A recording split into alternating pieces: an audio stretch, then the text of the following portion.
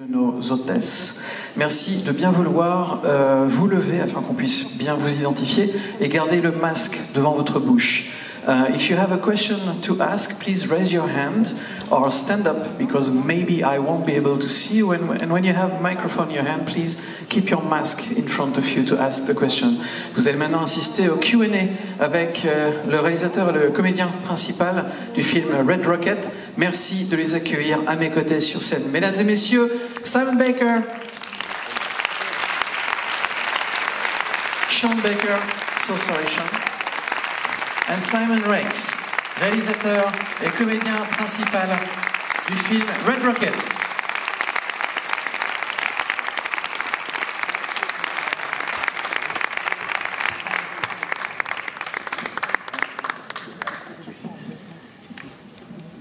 Y a-t-il une première question dans la salle?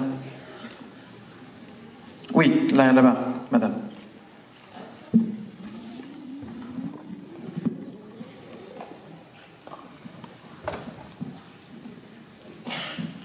Hi. Um, thank you. I thought the performances were outstanding.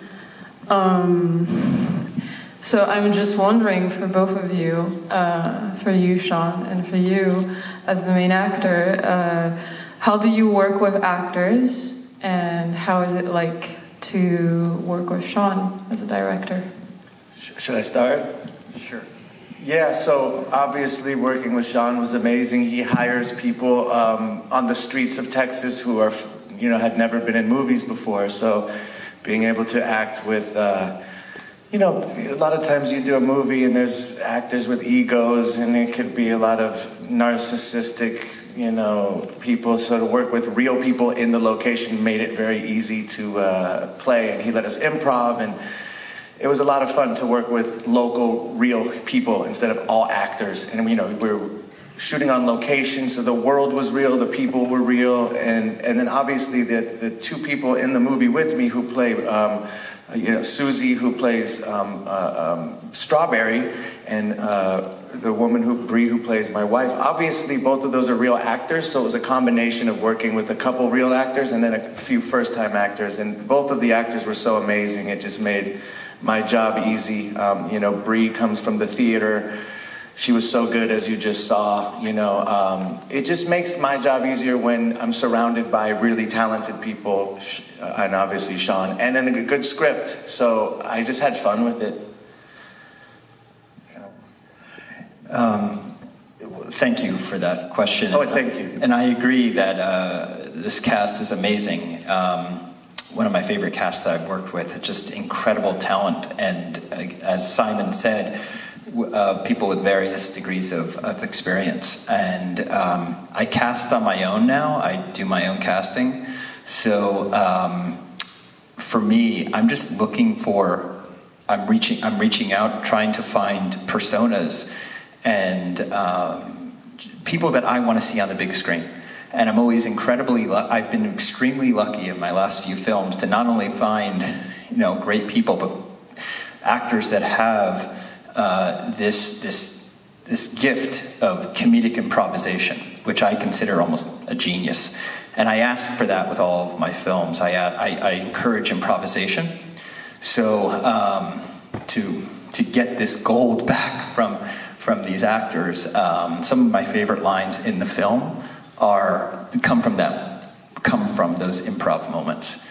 So you know we um, and to answer your question, it's just that it this film was a very small film shot during COVID. I think we were shooting this time last year, so it was a very tight family, a very small group of people. We all trusted one another. We were all open for experimentation. I always want to encourage experimentation, and um, hey, they gave me that. So uh, yeah, I think it was the intimacy that really helped this time around. Oui, la question portait sur les, les, les les, pardon, les comédiens qui ont vraiment euh, fait un travail remarquable. La performance des acteurs et des actrices était quelque chose de tout à fait euh, exceptionnel. Et donc la question était se poser au réalisateur en tant que comment a-t-il dirigé ces comédiens, s'il pouvait revenir sur son expérience donc de directeur de comédien, mais également à, Simon euh, lui demander comment est-ce que ça s'est passé pour lui, comment euh, comment il a évolué dans ce film. Et c'est lui en fait qui répond en premier en nous disant que la manière dont Sean réalise ses films, c'est vraiment quelque chose de tout à fait formidable. Il a pris sa caméra, il a été dans des rues au Texas, et puis il a, il a filmé des, des vrais gens, il a filmé des vrais lieux. Il n'y a pas de décor, il n'y a pas d'endroit monté comme dans un film traditionnel, il n'y a pas de comédiens, enfin il y a peu de comédiens professionnels, et donc les gens sont réels, c'est vraiment leur vécu, et comme il nous dit, Sean Baker est vraiment le genre de réalisateur qui est capable de réaliser ça presque comme personne d'autre. et donc c'est vraiment formidable, parce que Simon dit lui-même a tourné bien sûr avec d'autres comédiens déjà auparavant, et alors qu'est-ce qui peut se passer parfois sur un tournage avec des comédiens entre guillemets professionnels? C'est qu'il peut y avoir des petits combats d'ego, parce qu'ils sont, voilà, ils ont, ils ont aussi envie de, de, se, de se mettre en avant, euh, etc. Il y, a, il y, a, un petit côté narcisse chez les réalisateurs, euh, chez les comédiens professionnels, qu'on ne retrouve pas euh, chez les gens, entre guillemets, de la rue. Et on retrouve évidemment une authenticité, plus-value qui est formidable pour une histoire, pour un film comme, comme celui-là. Euh, donc voilà, il y a beaucoup d'improvisation. Sean Baker est un réalisateur qui laisse la bride euh, libre sur le coup de ses comédiens, il les laisse improviser, euh, il les encourage même, on va y revenir tout à l'heure. et, et par exemple, alors bien sûr, Simon nous dit, il y a des comédiens qui étaient des comédiens professionnels. La comédienne qui joue Strawberry, la comédienne qui joue sa femme, par exemple, ce sont d'authentiques actrices professionnelles. et finalement, cette, cette, cette combinaison, ce mélange qu'il y a entre les non-professionnels et les professionnels, c'est très bien fait. Il y a une, balance, un équilibre qui s'est créé et ça a très très bien euh, fonctionné. Euh, et donc, encore une fois, voilà, tout ça, ça a fait que son travail en tant qu'acteur ici, eh bien, ça a été largement facilité par ce, par ce mélange des genres. Et Sean nous dit quant à lui, alors bien sûr, merci pour votre question, il nous dit qu'en fait, euh, depuis déjà quelques temps, il fait ses castings lui-même. Vous savez qu'aux États-Unis et en France aussi d'ailleurs, en général, il y a un directeur ou une directrice de casting, quelqu'un dont le, dont le métier est de lire le scénario et de trouver le ou la meilleure comédien, comédienne pour pouvoir jouer tel rôle ou tel rôle. Et c'est lui qui fait ça, parce qu'il a un, il a, il a cet instinct de réalisateur de savoir quel sera le ou la meilleure euh, acteur-actrice pour interpréter tel ou tel rôle. Et il cherche des talents et il cherche aussi des, personnalités, des, des, gens qui ont déjà une vraie personnalité, qui vont pouvoir apporter quelque chose euh, dans le film. Et donc, dans ce sens, il, il encourage l'improvisation chez ses comédiens. C'est vraiment quelque chose qu'il aime. Euh, et il a beaucoup de chance parce que jusqu'à maintenant, et encore une fois avec ce film-là, il a eu beaucoup de, beaucoup de chance de trouver des personnes qui ont à chaque fois apporté quelque chose.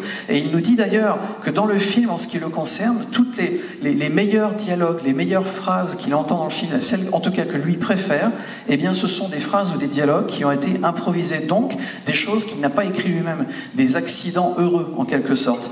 Et, euh, et il faut savoir encore une fois que le film que vous venez de voir, c'est un film qui a été tourné très rapidement, à un moment particulier. Il nous dit il a été tourné à peu de choses près à cette période-là, mais l'année dernière, donc vraiment en plein Covid. Et, euh, finalement, cette équipe de, techniciens qui était très réduite, de comédiens, d'acteurs, d'actrices qui était également très réduite. C'était une, petite société très très très euh, euh, serrée, très fermée, où tout le monde s'entraidait et l'ambiance était formidable. Et comme ça, il a pu les pousser à expérimenter des choses et à avoir comme ça beaucoup de, beaucoup de, nouvelles idées à l'improvisation. Y a-t-il une autre question? Ah ouais? Yeah, thanks. We'll keep our answers a little shorter next time. Oui, monsieur. Je suis désolé, hein. vraiment, je vous assure qu'avec les spots et des lunettes, je... voilà. Monsieur. Merci pour le film, je voulais vous féliciter, j'ai trouvé ça très abouti, notamment les cadres. Euh, ma question, elle est sur euh, l'écriture du personnage principal, comment est-ce que vous l'avez fait évoluer au cours du tournage à deux? Et euh, j'ai aussi une petite question sur la fin, ça m'a beaucoup rappelé The Hotspot, sur le fait que le personnage finalement a quand même une sorte de happy ending avec la mauvaise fille et j'aimerais savoir si c'est un truc qui se fait écho. Ça vous a rappelé, pardon, quoi? J'ai pas compris le, le, titre. The Hot Spot. First of all, congratulations on the film. Um, This gentleman wishes to know about the writing process and especially about uh, your character, Simon. Uh, did you was everything really scripted, or just as you just said, uh, was was there so much improvisation that actually the character evolved on his own during the shooting or during the editing? Maybe you can talk to us about that. And he also wanted to say that the ending uh, actually to him reminded him the ending of Hot Spot. I don't know. Uh, the fact that at the end, you know, the main the main character goes back to the you know the wrong woman, etc. So maybe you can also talk about that. Regarding, uh, well, first off, thank you very much. Uh, regarding the hotspot, I haven't seen it in 30 years. my Blu-ray is sitting on my floor. I'll, I'll, I'll, check it out, but I forgot about the ending. So, not an influence, but uh, I do like the film. Um, Do you want to translate that part? sure. Alors en ce qui concerne Hotspot, en fait, le truc c'est qu'il a le Blu-ray chez lui. Il est, il est installé, il l'a vu il y a longtemps. Euh, il n'a pas vu depuis très longtemps. Euh, et il s'est dit toujours qu'il faudrait qu'à un moment donné il le revoie, mais bon, il l'a pas encore fait. Donc, euh, a priori, il n'y a pas d'influence.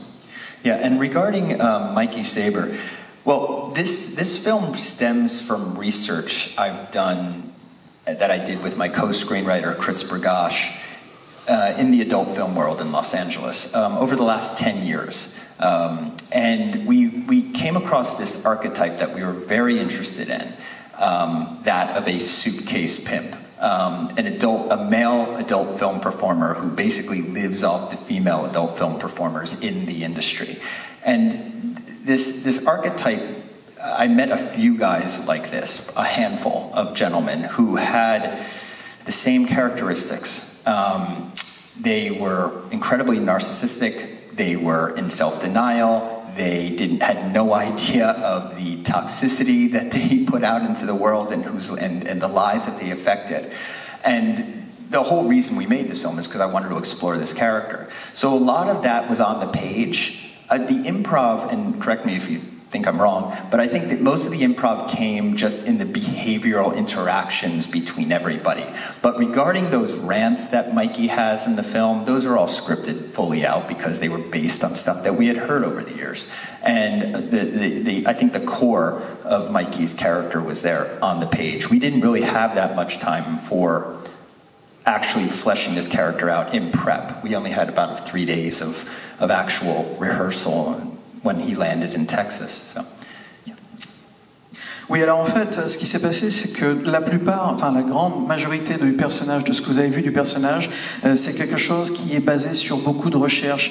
Sean nous dit qu'avec euh, avec son euh, co-scénariste Chris, ils ont, ils ont réfléchi à ce, thème pendant dix ans à Los Angeles et ils ont notamment étudié et rencontré beaucoup de, comédiens qui viennent du monde du porno ou qui étaient dans le monde du porno et qui en fait eux-mêmes vivaient aux dépens de leurs collègues euh, féminines, des femmes qui euh, étaient également des actrices porno aux États-Unis, donc plutôt en Californie, euh, et qui, vivaient presque, enfin, complètement à leurs dépens, et qui en fait ne se rendaient pas compte parce que ces, ces comédiens, nous dit-il, il en a connu pas mal, et ils étaient tellement narcissistes, ils étaient tellement repliés sur eux-mêmes qu'en fait ils réalisaient pas du tout. Il y avait une espèce de déni par rapport en fait à, eux-mêmes, et ils se rendaient pas compte du tout à quel point ils étaient eux toxiques, ils répandaient leur toxicité un peu autour d'eux et à quel point leur relation aux autres euh, était également toxique. Donc finalement, cette espèce de, côté complètement détaché, déconnecté, à ne pas se rendre compte du mal qu'on est en train de,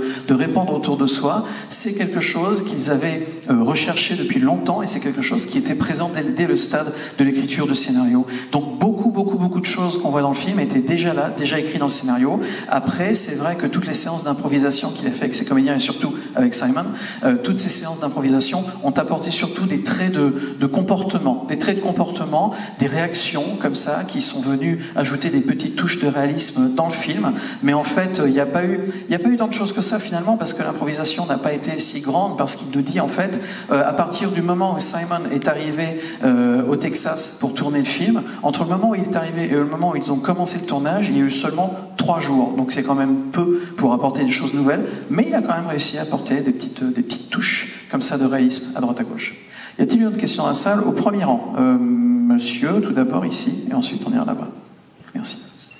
Bonjour, tout d'abord euh, félicitations pour, euh, pour ce film. Alors deux, mini-questions, j'ai pas exactement compris le titre, donc si, si, vous avez quelque chose là-dessus. Et ensuite, euh, la première fois qu'il y a le magasin de donuts, là, il y a trois fois de suite le montant 6,32$ à la caisse avec des commandes complètement différentes. Donc je voulais savoir si c'était euh, un petit quelque chose que vous aviez eu, un chiffre que vous aimez, 632, je sais pas. Sean, Sean get ready. This one is a tricky one. Ou si c'est un hasard total, hein, probablement. Voilà, merci. All right. An unusual question for you guys. Um, actually, two questions. The first one would be I think I know the answer, but the first one would be can you talk to us about the signification of the title, Red Rocket? What does it stand for? And the second one is this gentleman says he noticed in the donuts shop two, three times actually with very different items that the price is the same $6.32. So, can you please explain us this? Sure. Um, well, the first one is, is uh, I, I, would suggest looking up um, urbandictionary.com. It's a slang slang dictionary, and uh, red rocket is a slang term in the United States or in, in the English language where. Uh, should I just say it? Uh, it refers to a, um, a dog's uh, private area, a, a, a, male dog's private area. Oui, alors, euh, okay. alors Red Rocket, Red Rocket veut dire pour les, pour les non-anglophones, Red Rocket c'est une fusée rouge. Et Voilà, donc il a été sur urbandictionary.com, qui est un site internet, qui est un livre également sur le, sur le, le l'argot des villes aujourd'hui aux États-Unis. Et Red Rocket, eh bien, c'est. Enfin, voilà. Okay, and then regard. Okay, so you you actually are the first person to actually uh, see a little uh, one of the hints that I dropped throughout the film, in which I, I feel it could um, you could look at the film in a different way. Um, we're, we're, we're working with different themes, and one of the themes that we're tackling is, is history, the history between Mikey and his ex Lexi, the, his, you know, the history of the area, the location. And I guess one of the questions that I'm putting out there to the audience is, uh, you know, um, do you do you really think that i mean do you um, you can actually it's not a really a question but um, i'm allowing the audience to, to, to question whether or not the strawberry subplot is actually even real. Um, and or whether it's a retelling of mikey and lexi's history or perhaps it is uh, mikey's imagination his way of coping with his new shitty existence that he's living in. Now, I'm not saying that that's it, because I really want the audience to interpret and have their own interpretations. But there are things that I've dropped in there that is that, that's repetition, that is the same in in uh, in Strawberry's world as the same as Lexi's world, to perhaps put out there that they might be the same people. Alors en fait,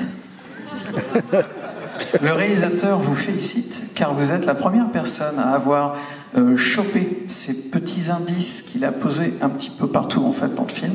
Et la somme qui est toujours la même est un de ces petits indices pour vous faire voir qu'il y a quelque chose d'un petit peu décalé lorsqu'il rentre dans le magasin de notes, parce qu'il nous dit, il aime à penser, il ne veut pas non plus euh, tout écrire noir sur blanc, mais il aime à penser qu'on puisse voir et on puisse interpréter le film d'une différente euh, d'une manière différente en fait en fonction du spectateur ou de la spectatrice qui va regarder le film. Et euh, on peut voir le film tel qu'il est, linéaire, voilà, ok. Mais on peut également se dire, il y a plusieurs thèmes comme ça. Il y a le thème évidemment de l'histoire qui relie euh, le personnage interprété par, par Simon avec sa femme dans le film. Cette histoire qui, qui, qui est devenue un peu n'importe quoi, qui était sans doute très belle avant, mais qui en tout cas maintenant ne l'est plus. Et puis sa vie aussi. Peut-être que le personnage donc de Simon dans le film, peut-être que sa vie actuelle, quand il sort de prison, elle est tellement, tellement minable qu'il essaye de, de, s'échapper d'une manière ou d'une autre. Et peut-être que ce magasin de donuts n'existe pas. Peut-être que tout ça, en fait, c'est dans sa tête à lui.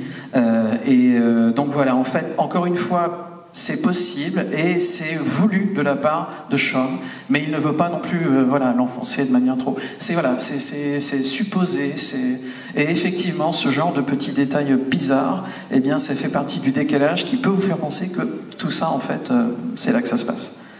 Voilà. Y a-t-il une autre question dans la salle? Euh, Oui, monsieur, pardon, premier rang. Bonjour, hello, hello Sean, hello sir. Uh, this is a question for, for Sean. Uh, we discovered you here in Deauville with Tangerine. Uh, we've seen you in Cannes with the Florida Project. We recognize some aspects of your movies, the, the light, which is very warm, the positive energy of the characters. But the two previous movies were, had very um, specific messages, societal aspects, which was super strong, which we do not retrieve here. So, uh, are you, as an artist, moving into a new part of your career where you focus much more on the story and perhaps less on the society? Can you comment on this? Do you have? Okay. Um, well, thank you very much for that um, and those nice words. I. Um, uh, perhaps I am. Uh, perhaps because you know I do see those other films um, as issue-based films, and the film I was supposed to have made, if COVID didn't shut us down, was another film about an issue that I wanted to shine a light on. This, not so much so. This, again, as I said earlier, there, we, it's more about working with themes. And uh, again, and, and, and, my lead is an anti-hero, very, very different from my other films.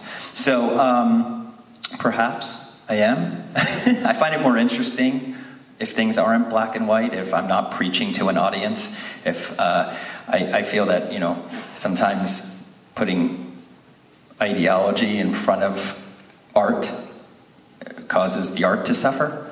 And um, so, uh, if my messages can be a little bit more gray, a little bit open, more open to both sides, especially in the US, where we're so divided right now, I want both sides to be discussing my film. I just don't want the left to be discussing my films. So, yeah, perhaps it is a, uh, a change, but we shall see. Thank you for that nice question. Euh, la question en fait portait sur les films précédents, enfin le contraste entre les films précédents de Sean Baker que nous connaissons bien à Deauville euh, et ce film-là, parce que c'est vrai, comme vous dites, euh, monsieur, euh, que ces films étaient quand même très différents. Il y avait à chaque fois un discours plus ou moins clair, mais un discours qui était quand même là, un discours politique aussi sur des choses qui se passaient, un discours de société, des problèmes de société avec son film notamment Tangerine, qui était présenté ici il y a quelques années de cela, qui se passait à Los Angeles euh, et qu'on avait donc découvert de ville. Et puis également avec son film suivant, The Florida Project, avec Willem Dafoe, qui avait été, quant à lui, d'où le titre, tourné en Floride. Et, euh, et, des films assez différents visuellement, dans le texte, mais surtout dans le, dans le thème, encore une fois. Ils étaient, c'était des films qui vraiment parlaient de problèmes de société. Celui-ci, un petit peu différent. Et euh, alors, euh, qu'est-ce qui se passe? Est-ce que c'est, est-ce qu'il y a un changement? Est-ce que Sean décide de se, de se concentrer sur l'histoire et met un peu l'aspect sociétal de côté? Et Sean nous dit, euh, tout d'abord, merci pour votre question. Et oui, peut-être, peut-être que vous avez raison. Peut-être que lui change et qu'il a envie de faire des choses un petit peu différentes.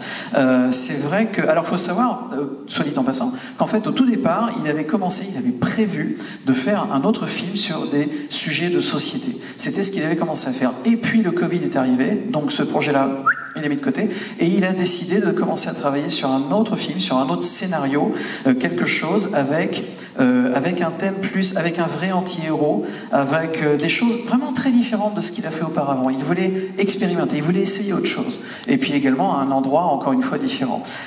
Et donc voilà, il se dit qu'il avait envie d'arrêter de, presque de, faire un prêche euh, pour euh, attirer la lumière sur tel ou tel problème. Il voulait vraiment faire autre chose, voir des personnages évoluer dans un endroit différent, et puis ne pas mettre une idéologie euh, un problème sociétal devant l'art. Parce qu'il nous dit, lorsque l'idéologie prend le pas sur le côté artistique, eh bien le côté artistique souffre un peu. Donc il voulait revenir à, faire un film, tout simplement. Voilà, un film. Et, et puis plutôt que de traiter de sujets très euh, polarisants, très contrastés, noirs et blancs, il voulait s'y trouver une histoire grise où on peut un peu l'envisager de plusieurs manières possibles et faire en sorte que ce soit plus, plus serein dans la, dans la narration. Et c'est ça qu'il a voulu faire. Donc oui, oui, il change un peu, il a changé et voilà, peut-être qu'il continuera à changer ou en tout cas à progresser dans cette voie-là. On verra. Do you have another project actually right now? Are you working on something else? Um, Yeah, well, until COVID is over, we can't we can't talk, tackle this other project because it's a much bigger film. But um, so I won't- I'm not even going to talk about it right. Non, je lui ai demandé s'il avait un autre projet. Il nous dit que son autre projet, c'était le fameux projet sociétal qu'il avait été obligé d'arrêter à cause du Covid. Et comme il vient de le souligner, le Covid, c'est pas fini. C'est la raison pour laquelle on est tous masqués. Et donc, tant que c'est pas fini, c'est un projet qui est tellement important qu'il ne peut, peut pas le continuer. Donc, pour l'instant, c'est en pause et on verra ce qui va se passer par la suite. Y a-t-il encore une question? Auquel cas, c'est le moment. Oui, monsieur ici. Ah, attendez, quelqu'un d'autre? Je vois rien du tout. Oh là, vous êtes beaucoup trop. La prochaine fois, asseyez-vous là, parce que là. Alors, monsieur, très très haut. Bon courage pour le micro.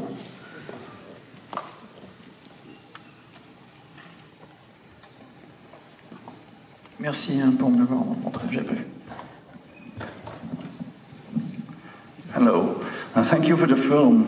Um, there's not much indication about when it's taking place, except for uh, Donald Trump. So maybe it's something uh, concerning the, the other question that it, maybe it's a little bit of politics there. Oh, most definitely, it's a political. Uh, there's a political backbone, but again, um, I think it's very important right now. And I, I've planted enough seeds in this film where you could see Mikey Saber as Trump, or you can be you can see Mikey Saber as Clinton. Um, and it's really up to you, quite honestly, because I know what I feel. I just don't feel like again like preaching, but. Um, Yes. Uh, also, getting back to what I said earlier about the themes that we're tackling, and and and you know, in history and real. Another theme that we're tackling is reality. That's why I have. I'm likening the um, democratic con- the, the conventions, you know, um, to and and and and. Uh, campaign and election coverage on, new, on the news to reality television. Um, that's another reason why uh, I, I said it in 2016. But again, it, it's up for interpretation. And um, yeah, there is one, I would like to point out one influence on the film. Uh, Roberto Minervini is a documentarian, a wonderful uh, documentary filmmaker, and he made a film called The Other Side that was, I believe, at Critics Week at Cannes um, uh, back in 2015. And it's a doc, uh, 16, and it's a documentary that took place right at that time as well. And it, and it, it left uh, quite an impression on me uh, because seeing it after the election and looking back at the way that we were thinking about it and the way that we were mostly all convinced that uh, Hillary was going to win, um, I found that fascinating. Oui, la question porte également parce que Sean vient de dire que pour une fois, il avait eu envie de faire un film qui n'était pas politique et se basait sur l'histoire et les personnages. Et Monsieur dit oui, mais en même temps, euh, on voit aussi des affiches de Trump et puis on sait que ça a été le, film se passe en 2016, une période évidemment qui a vu l'élection de Donald Trump. Donc il y a un petit peu de politique quand même euh, dans le film. Et, euh, et Sean nous dit oui. Alors effectivement, il y a un petit peu de politique, mais alors par exemple, quand on voit le film, est-ce que le personnage principal est pro Clinton ou pro Trump? Fund c'est pas dit, c'est pas expliqué, et c'est un peu, c'est à chacun de, l'envisager. Enfin voilà, c'est pas dit clairement, c'est, on sait pas. C'est à vous de voir. Lui a sa propre idée par rapport à ça, mais il va pas, il va pas nous le dire parce que c'est à chacun de faire, de se faire sa propre opinion. Euh, et euh, ce qui l'intéressait, c'était aussi de faire voir ce contraste entre la réalité aux États-Unis et là, la, la, télé-réalité est très présente et très prégnante, et elle a tendance aussi à, à modifier même l'aspect de tout le reste des news qui ressemblent de plus en plus à la télé-réalité, euh, des campagnes euh, présidentielles qui ressemblent de plus en plus à la télé-réalité. Donc tout se mélange et c'est pas très sain forcément pour le débat public. Mais tout ça, encore une fois, c'est laissé à l'interprétation de chacun. C'est pas expliqué clairement, c'est à vous de vous faire votre propre idée. En tout cas, c'est euh, fait pour vous faire réfléchir par rapport à ça. En tout cas, il nous parle d'une influence c'est une influence possible. C'est un documentaire qu'il a vu qui date de 2015, un documentaire qui s'appelle The Other Side, l'autre côté. Euh, et, euh, et, ce documentaire donc a été tourné en 2015-2016, mais il l'a pas vu ce moment il l'a vu un petit peu après. Et il nous dit lorsqu'il a vu ce documentaire qui traitait, qui avait été tourné donc à cette époque-là, et qui traitait de tout ça, Et lorsqu'il l'a vu avec le recul, c'est-à-dire après l'élection de Donald Trump, il faut savoir qu'aux États-Unis, et également ici, hein, mais aux États-Unis, l'élection de Donald Trump a été une grosse surprise pas une très très bonne pour beaucoup de gens, parce que tout le monde était persuadé que ce serait Hillary Clinton qui allait gagner. Euh, et puis en fait, non. Et quand euh, donc tout le monde était vraiment vraiment surpris, euh, choqué, et quand il a vu ce documentaire-là, bah, ça l'a vraiment, ça a vraiment commencé à le faire beaucoup réfléchir sur sur toutes les choses en fait qui étaient en face de lui et qu'il n'avait pas vues. Donc ça, c'était une, une influence possible. Mais encore une fois, le film pour lui n'est pas un film politique, en tout cas n'a pas de discours politique. Nous allons prendre une toute dernière question et après, juste là, masque bleu, chemise sombre. Merci beaucoup. Euh, je fais vite. Euh, c'était juste pour revenir sur le lieu de tournage. Pourquoi euh, le Texas ici Est-ce que c'est pour les relations intergénérationnelles à l'intérieur des maisons, la couleur des maisons On voit beaucoup de décors sur les balades en vélo qui sont très intéressants. Je voulais qu'ils reviennent là-dessus. Uh, the last question will be about uh, the locations. Uh, it's quite surprising, you know, and so to begin with, why Texas? Uh, why there and, and, nowhere else? Why Texas? And uh, was it also something you wanted to show uh, the generations gaps within the same house, the same home? And maybe you can talk about the very interesting uh, uh, scenes, you know, that the, the, what we see when the character uh, played by Simon is bicycling, you know, throughout the city. We see very different places. Where you, you know, was it something that you wanted to do from the get-go? Maybe you can talk to us about that. Sure, and I'll try to keep it as brief as possible. Um, I uh, so I'm not going to mention the generational thing because that wasn't uh, I don't that wasn't on my mind. But I'm glad that you caught that. Uh, I mean, I'm glad it had some sort of impact on you. But um, regarding Texas, you know, um, first off, everything stems from some sort of factual, or at least from from our research, right? Uh, so we were many of the adult film stars that I met came from Mid America. So we knew it was going to be Ohio or Louisiana or Texas, right?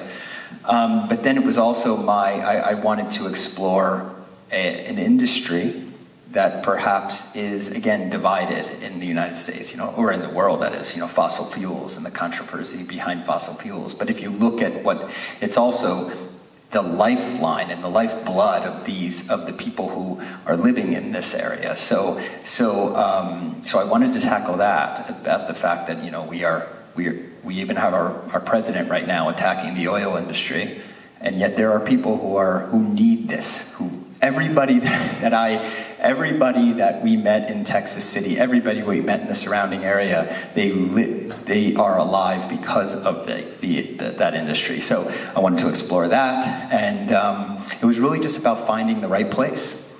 You know, my producer and I drove up the Gulf looking, you know, for the right location, and we landed on Texas City. Uh, for a number of reasons, but again, it has to do with that history there's a very, very dark and sad history uh, of that area.